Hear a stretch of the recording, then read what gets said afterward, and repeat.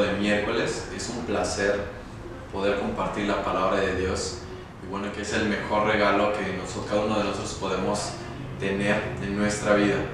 Y bueno, eh, no sé si alguna vez te ha sucedido que te levantas a las 7 de la mañana, estás bastante cansado, crees que tienes una agenda bastante pesada y pides 10 minutos más para dormir. Es tu agenda y dices, ¿sabes qué? Otros 5 minutos más. Y e inclusive te preguntas, ¿valdrá la pena levantarme? ¿O tendrá sentido que yo me levante? Y te acuerdas que hay gente que depende de lo que tú haces. Entonces te levantas deprisa, hay mucho tráfico y bueno, pareciera que va a ser un, un día bastante complicado. Cuando nosotros somos adolescentes, se nos ha enseñado que al llegar a los 18 años tenemos que tomar una de las decisiones más importantes de, su- de nuestra vida.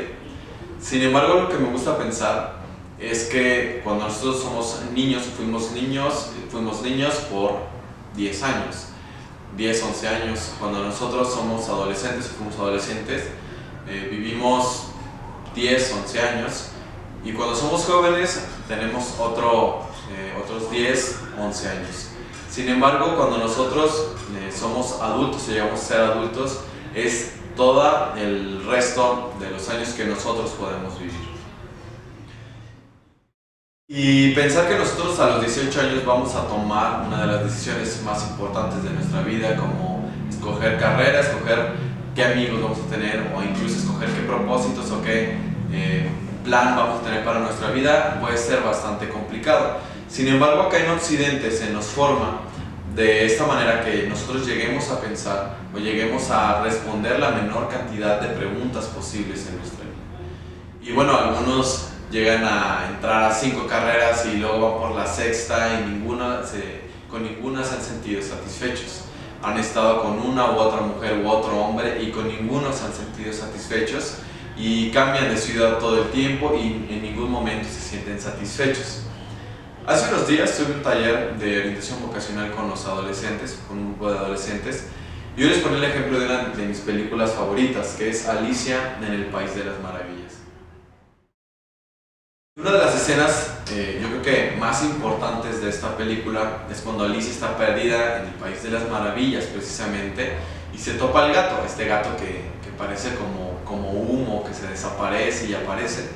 Se le aparece a Alicia y le pregunta, oye, eh, ¿qué camino vas a tomar? Y dice, bueno, no importa el camino, o sea, realmente quiero llegar a, a cierto sitio. ¿no? Y el gato le responde, y creo que es bastante sabio lo que, le, lo que le responde, no importa el camino, no importa el camino que tú vayas a tomar si no sabes a dónde vas a llegar. Realmente todos los caminos pueden ser buenos. Seguramente te has preguntado cuál es el propósito de tu vida o qué sentido tiene tu vida.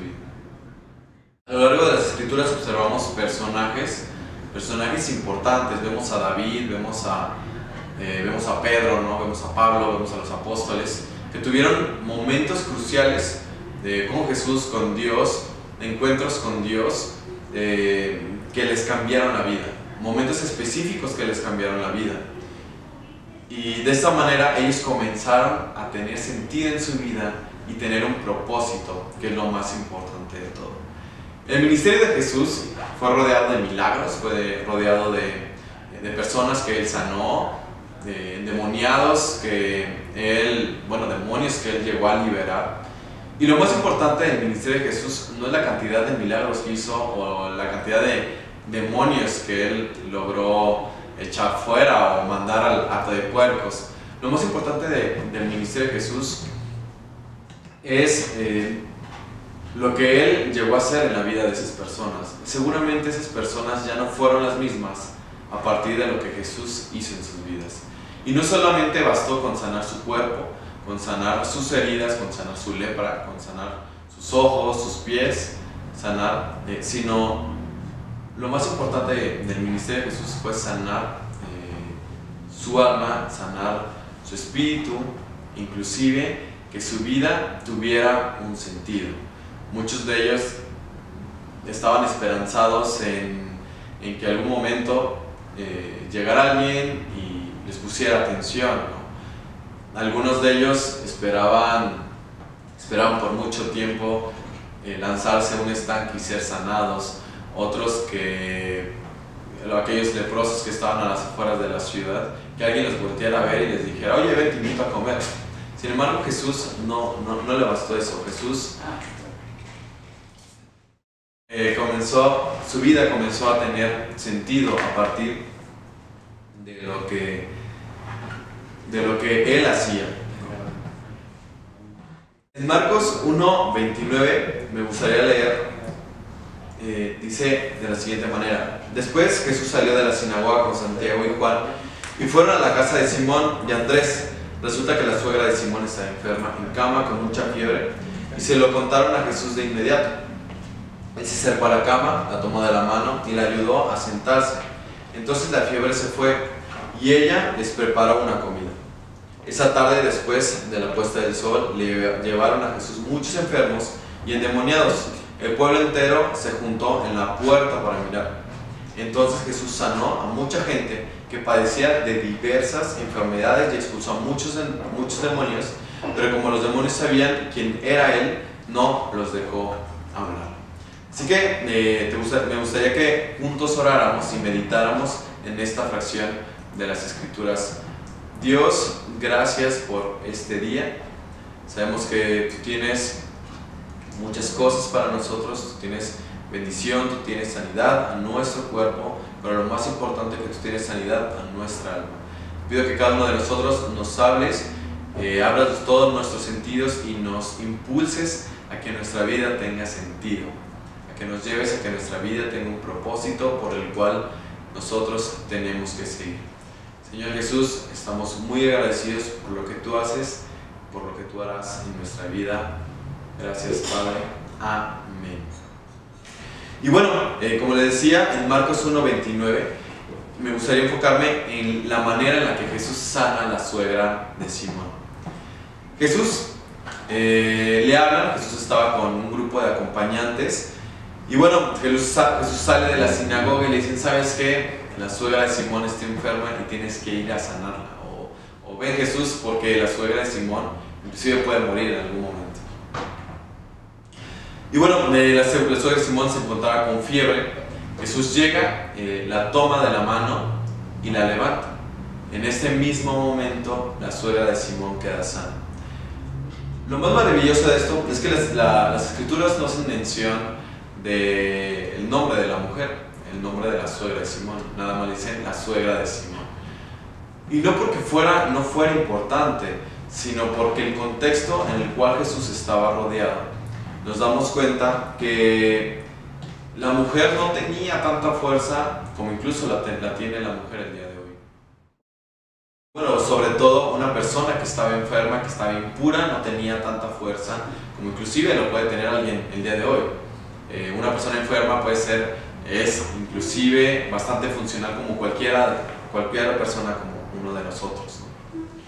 Entonces Jesús se mueve en forma eh, de manera que se va en contra de la cultura. ¿Y por qué se va en contra de la cultura? Porque primero toma una mujer, una mujer que sabrá Dios qué, nombre tenía, pero Jesús la toma y la levanta. Jesús toma una, una mujer y una mujer que está impura y todavía la levanta, le da un sentido en su vida. Tocar a una persona ritualmente impura o ritualmente eh, pues con una enfermedad podía ser bastante desagradable para todos aquellos que sabían de la ley o de las escrituras, porque para ellos inclusive tocar a alguien que tenía lepra estaba, había sido pecador o estaba endemoniado o tenía alguna enfermedad que podía inclusive pegárseles. Y bueno, para, inclusive por eso muchos de los leprosos los dejaban afuera de las ciudades. Pero esta mujer, que Jesús decide tomarla, Jesús como un acto revolucionario, le comienza a dar sentido no solamente al grupo de personas que le estaba viendo, sino a la vida de esta mujer. El término que Marcos usa para describir a la mujer al tomarla Jesús de la mano y antes de curarla es poco común en las escrituras. Y es porque es uno de los términos que se describe en lo sucedido después de la muerte de Jesús. Este término puede significar levantar o despertar. Y los evangelios la usan para la palabra resurrección. Y eso no significa que la suegra de Pedro haya estado muerta y que Jesús la haya resucitado, sino fue eh, el hecho narrativo de levantar y servir.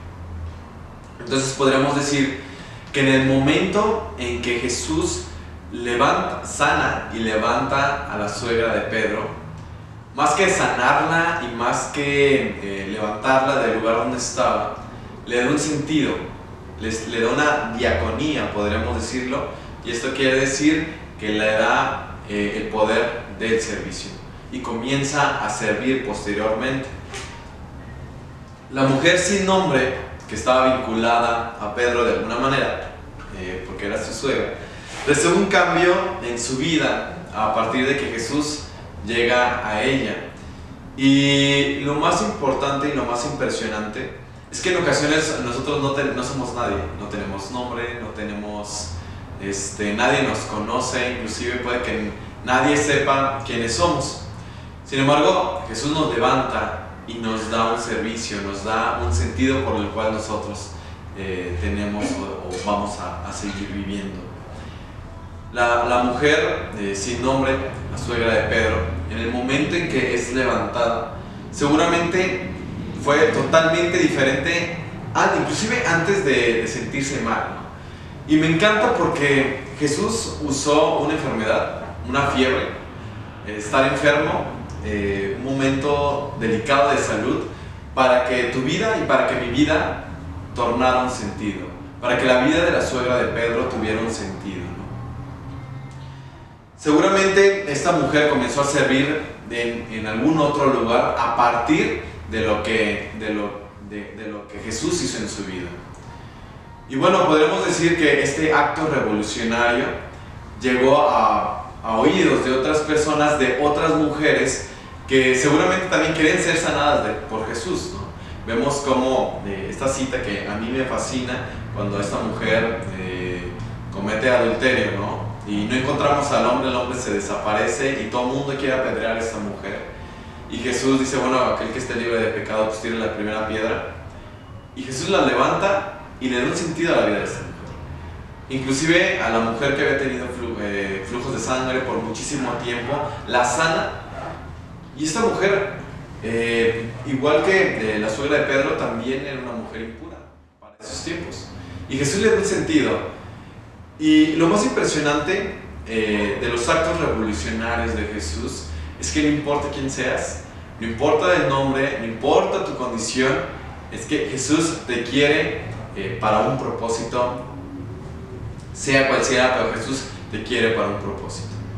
Y me gustaría leer la segunda parte de Marcos 1, 35 al 39 y dice, a la mañana siguiente, antes del amanecer, Jesús se levantó y fue a un lugar aislado para orar.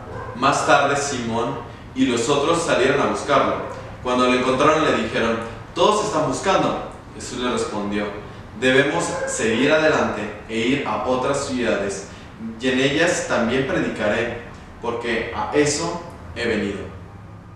Así que recorrió toda la región de Galilea, predicando en las sinagogas y expulsando demonios. Lo que me gusta, y hay algo que, podemos ver en la relación del versículo 30 y 31, es lo mencionado por Jesús en el, en el versículo 38 y es para esto he venido. Vemos un Jesús que estaba sirviendo en el templo o estaba en el templo, sale del templo y le dicen tienes que ir a sanar a una mujer y va y la sana y le da eh, oportunidad de servir y le da una diaconía y le da sentido a su vida y posteriormente vemos un Jesús este, que estaba con un grupo de personas y le dice ¿Sabes? Tengo que ir a, las ciudades porque para esto he venido. Podemos ver que Jesús tenía bien entendido cuál era su lugar en la tierra, cuál era su propósito. Para algunos dicen, bueno, pues es que qué sencillo, es que Jesús era Dios, ¿no? Y para algunos es muy sencillo pensar que alguien que podría ser Dios o que es Dios, pues es totalmente aceptable que tenga totalmente entendido cuál es su propósito.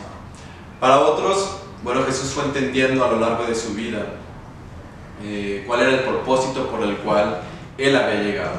Sin embargo, cuando Él, Jesús, comienza y es adulto, Jesús se da cuenta, inclusive tiene bastante claro cuál es el propósito de su vida. Y dice, para esto, para esto he venido.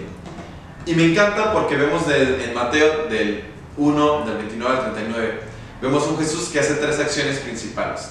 Primero sana, después expulsa demonios y después le impide, impide que, que las personas eh, que estaban ahí ejerzan fuerza sobre su ministerio, sobre, sobre el legado, sobre lo, lo que él iba a hacer en su vida. Y, me encanta porque Jesús entendía que Él había venido a nuestra vida para servir a las personas, para servir a cada uno de nosotros. Vemos un Cristo, un Jesús, que Él no venía o no vino con un prestigioso título. Vemos un Jesús que, que, no tenía fama de curandero o de inclusive de, exorcista, ¿no? de liberador de demonios, sino que vemos un Jesús que vino a levantar a las personas que no tenían nombre y que, que no eran nadie para, para la sociedad. Y vino a predicarle el Evangelio a cada una de estas personas. Y que estas personas, más que escuchar su palabra, sus vidas tornaron con un sentido diferente, tornaron inclusive tener un propósito en medio de una sociedad que no, que no les había dado la oportunidad de soñar ni de tener propósitos. Aquellos que habían sido alejados de la sociedad, aquellos que habían sido excluidos de todo lo que era conocido, ¿no? aquellos que inclusive eran tratados peor que los mismos animales. Jesús les da un sentido. Me gustaría reflexionar precisamente sobre esto. Jesús te da sentido a ti, me da sentido a mí, a partir de que no solamente nos sana una herida, ¿no? nos sana de lo que nos podamos sentir mal, de un dolor de cabeza, de una fiebre. Jesús, lo más importante, que vino para servir, y vino para servir para que tú, tu vida tenga sentido, para que tu vida tenga un propósito, para que cuando te levantes a la mañana y digas, no sé por qué me tengo que levantar, ahí Jesús está contigo y, y te está diciendo, ¿sabes qué? Te vas a levantar porque tu vida tiene un sentido. O cuando hay problemas, ahí Jesús te dice, ¿sabes qué? A lo mejor nadie te conoce, el día de mañana alguien te va a conocer, pero ¿sabes qué? Tu vida va a tener sentido. Y, te va a y va a tener sentido no porque a lo mejor tengas una enfermedad rara y puedas ser sanado de cáncer o de cualquier otra enfermedad. Va a tener sentido porque Jesús quiere que tu vida tenga sentido, quiere que tu vida sirva de algo.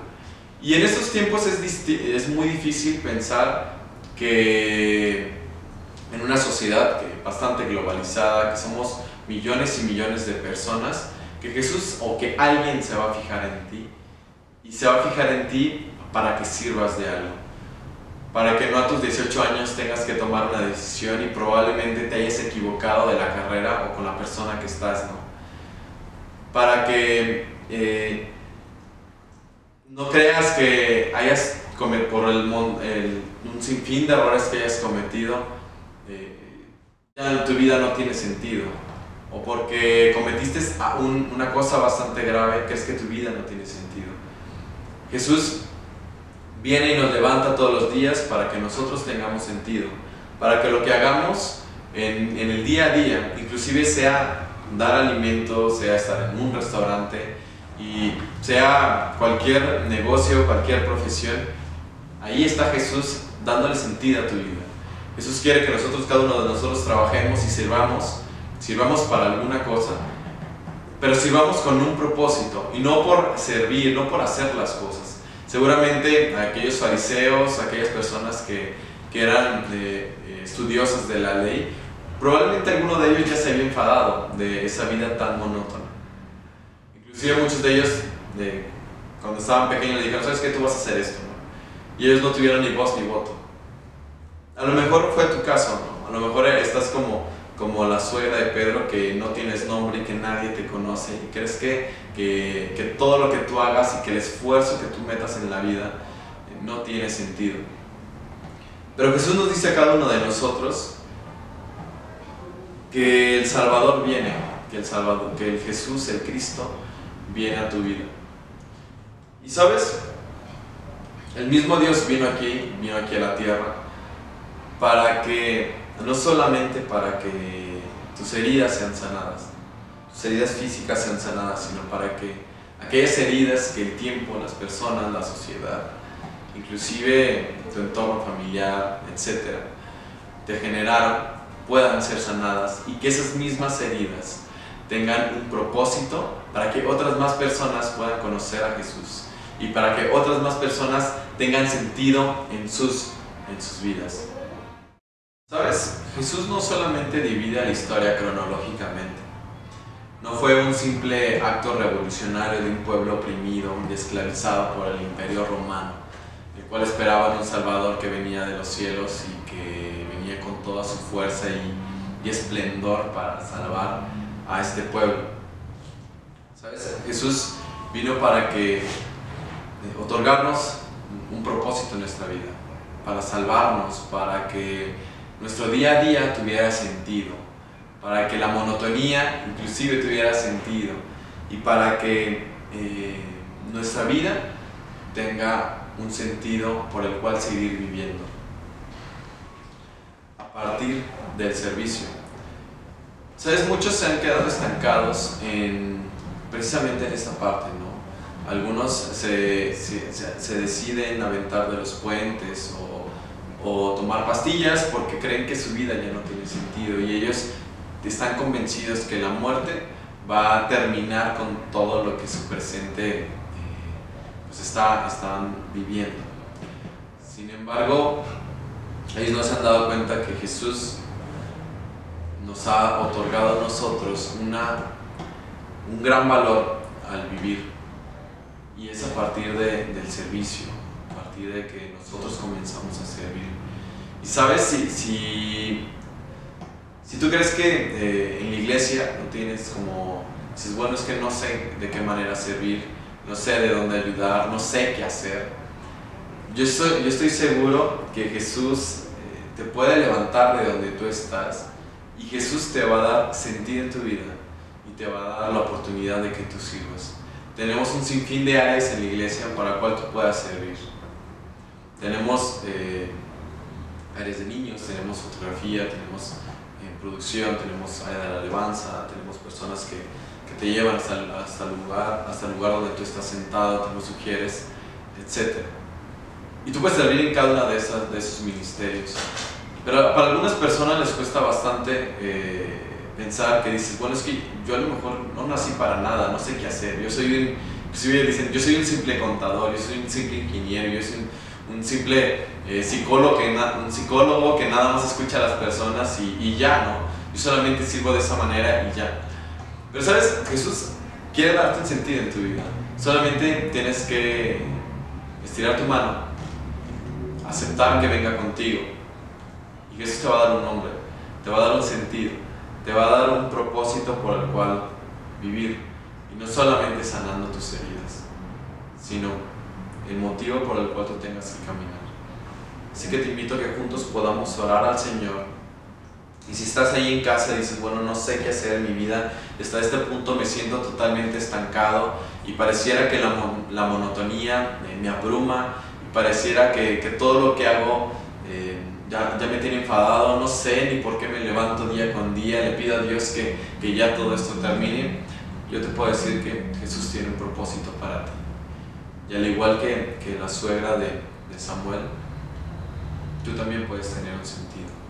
En medio de la cultura, eh, en medio de actos revolucionarios, en medio de situaciones que podían para algunos decir es que, es que eres impuro y ya no tienes el derecho de que Jesús se acerque contigo, yo te puedo decir que en medio de esos actos inclusive impuros Jesús ha decidido amarte y ha decidido levantarte y ha decidido ponerte en un buen lugar.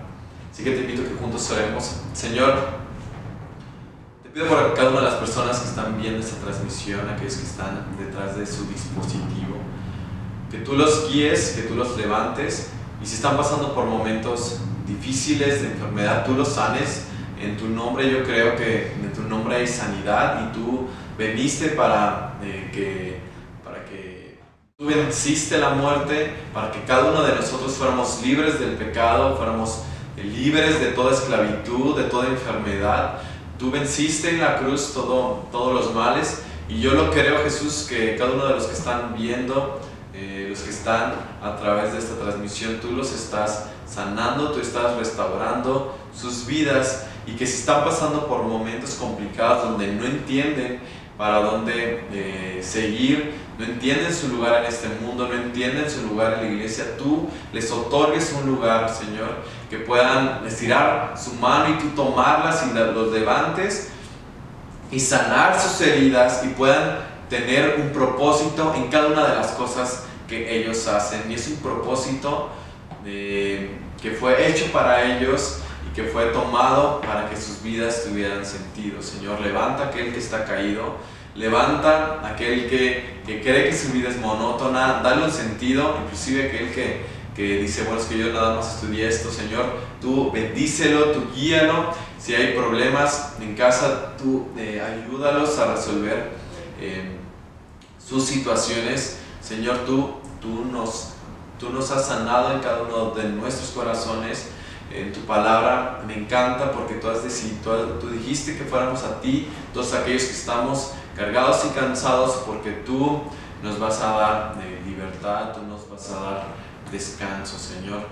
Y te pido que eh, así como con, con la suegra de Samuel, también tú nos levantes y nuestra vida tenga sentido en cada una de las cosas que nosotros hacemos, Señor, y que también podamos servir y que también, Señor, eh, nuestra vida pueda ser útil y, no, y todos los pensamientos que nos, que nos ha dicho por tiempo la cultura de, nos, de que no servimos, de que somos buenos para nada. Señor, entendemos que en ti eh, nosotros eh, somos buenos para algo, porque tú así lo has dicho.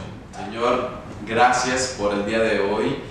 Te pido que tú bendigas a todos los que estamos aquí, bendice nuestras semanas, nuestra economía, nuestras familias. Señor Jesús, creemos en ti. Amén. Y de esta manera te invito que, que puedas creer que Jesús ha tenido un propósito para ti, que Jesús te puede levantar, que no importa quién sea, si eres hombre, si eres mujer, Dios tiene un propósito para ti. Si crees que nadie te conoce y que no tienes nombre, Dios te va a otorgar un nombre. Si crees que dices, bueno, es que yo no tengo ministerio, yo no sé qué hacer, yo simple soy técnico en fulanita de tal cosa, Jesús, Jesús te va a dar un sentido en eso. Jesús vino eh, para aquellos que, que no tenían sentido. Yo creo que vino por ti, vino por mí, para darnos sentido y propósito en cada cosa que nosotros hacemos. Así que dices que Dios te bendiga, que, que tengas una excelente semana que Dios te bendiga con los mejores regalos que tiene para ti, que si estás pasando por momentos difíciles, Dios, sabes, Dios está ahí contigo y Dios eh, te está esperando a que abras tus labios y externes lo que tú sientes. Así que Dios te bendiga, que tengas una excelente eh, semana y bueno, eh, bendiciones.